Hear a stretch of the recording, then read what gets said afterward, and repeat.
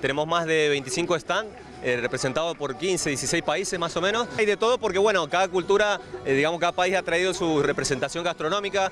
Por ejemplo, acá nosotros tenemos los chicos sirios que han traído como 20 variedades de comida. Está, bueno, la gente de México, la gente de Francia. Está muy, muy bueno, muy buen el evento en el día de hoy. Está dedicado para las colectividades, ¿no es cierto? Cada colectividad tiene gente que por allá vive en Argentina y es una ayuda económica también para ellos como para, para levantar un poco. Tenemos hoy casi la comida muy, muy, muy famosa en el mundo árabe, podemos decir.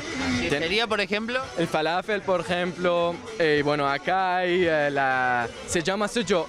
Eh, hacemos con carne, con eso, eh, bueno, es, es riquísima también, es también una comida muy típica también en Siria y la falafel.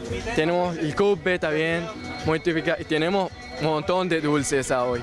Venimos a representar a Argentina también, eh, estamos con todo el equipo, así que a disfrutar y a compartir una tarde agradable acá en el parque. muy orgullosos de representar aparte eh, Ucrania, nuestra, nuestras raíces, pero a todo esto transmitirle a todos lo que es la gente que venga nuestra, justamente nuestra cultura. Las comidas típicas ya son los bors, que es un tipo de sopa, ¿no es cierto? Así a base de carne de cerdo.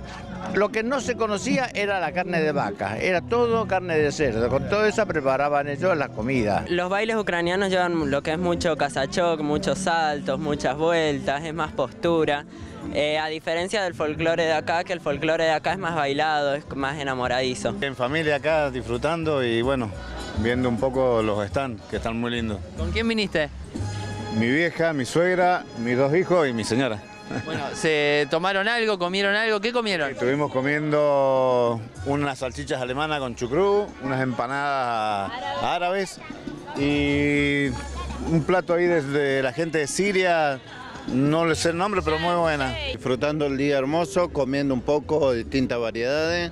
Eh, muy lindo todo. ¿En familia? Sí, sí, sí. En familia vinimos los tres a mirar. Se recomienda el stand sirio, muy bueno. Es la primera vez que vengo, eh, pero sí me gusta mucho, pertenecemos a la colectividad peruana nosotros. Sí, pero hemos probado los platos de los otros lugares y están muy buenos. Está bueno, ¿no? Cambia un poquito, tenés otras opciones. Claro, tenemos variedad, está muy lindo lo que están haciendo.